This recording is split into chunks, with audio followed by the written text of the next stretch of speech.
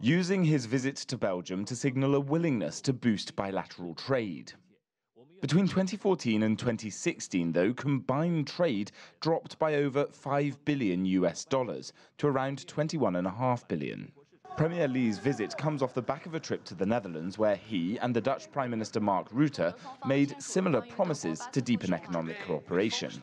If China really wants to maintain a close relation with Europe, it will also need to show that it's taking steps to avoid discriminating European companies, of opening more the market to European business, and uh, if China is really willing to play the role in, in the future of the world trade system, also China needs to put on the table some proposals. Leaders from across Asia are all descending on Brussels for a summit with their European counterparts. No fewer than 51 of them will be holding two days of meetings here.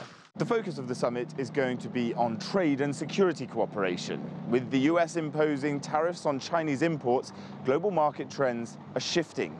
European and Asian leaders are set to recommit themselves to rules-based order, especially on trade. Jack Parrock, CGTN, Brussels.